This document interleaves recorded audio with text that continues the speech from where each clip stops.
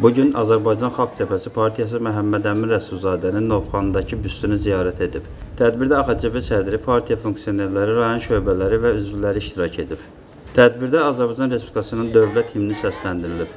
Daha sonra tədbir iştirakçıları Məhəmməd Əmin Rəsulzadə haqqında fikirlərini bölüşüblər. Məhəmməd Əmin Rəsulzadə irsini, məhəbbətini qəlbində yaşadıq və yaşadacaqdır. Bu gün burada Azərbaycan məktəbləri, məktəbləri də var. Onlar özləri də bura qoşulmaq istəyiblər və bir neçəsi burada Azərbaycan bayrağını dalğalandırır. Bu o deməkdir ki, Azərbaycanın gələcəyi möhkəm əllərdədir. Azərbaycanda normal Məhəmməd Əmin Rəsulzadənin istədiyi Azərbaycanı, demokratik Azərbaycanı, hər bir kəsin eşit, bərabər yaşaya biləcəyi Azərbaycanı yarada biləcəyik. Mən bu gün buraya gəl gəlmişəm, hər il gəlirəm, başqa günlərdə gəlirəm. Bu gün mən əziz balalarım, sizi görəndə, sizin hamınız himni ürəkdən oxuyanda, mən inanıram ki, gələcəkdə Məhəmməd Əmin Rəsulzadə günləri bundan da daha maraqlı olacaq.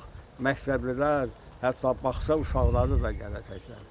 Mən bu günləri təbrikini mənim nəvələrimdən, burada olan o himni ürəkdən oxuyanlardan e, oxuyanları alqışlayıram. Siz nümunəsiniz bugün. Bu günləri bizim parlamentdə deputatlar var, himni oxuya bilmirlər. Oxuyanda da mikrofonda çalırlar, qulaq asırlar. Siz onlara ibrət dərsi keçirsiniz. Bu gün Məmməd Əmin Rəsulzadənin arzuladığı Azərbaycanda yaşaya bilirik kimi, əgər Məmməd Əmin Rəsulzadənin qurduğu cümhuriyyət yaşasaydı, bu gün Azərbaycan necə olacaqdı?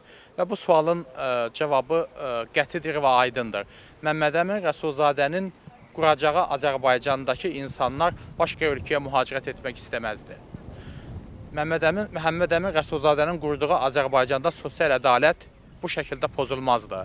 Və bu gün bəlkə də bu gün Azərbaycan insanlarının mühacirət etmədiyi etmək istədiyi ölkələrin vətəndaşları Azərbaycana mühacirət edərdi. Məhəmməd Əmin Rəsulzadənin ə, qurduğu cümhuriyyətdə ilk dəfə olaraq Şərq aləmində demokratik cümhuriyyət quruldu və qadınlara seçki hüququ tanındı. Hələ bu zaman Avropanın bu gün inkişaf etmiş bir çox demokratik ölkələrində həmin o qadınlara seçki hüququ tanınmamışdı. Və təbii ki, Məhəmməd Əmin Rəsulzadənin qurduğu Azərbaycanda, vəd etdiyi Azərbaycanda siyasi məhbus problemi olmayacaqdı. Seçki saxtakarlığı olmayacaqdı. İnsanlar fikirlərinə, düşüncələrinə görə həbsə atılmayacaqdı.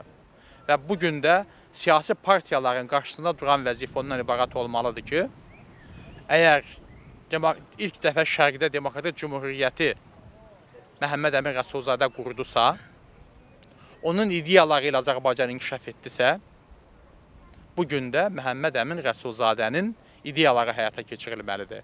Çünki bu gün Məhəmməd Əmin Rəsulzadə qədər Azərbaycan xalqına qulluq etmiş, Azərbaycan xalqını önə çıxarmış bir lider yoxdur.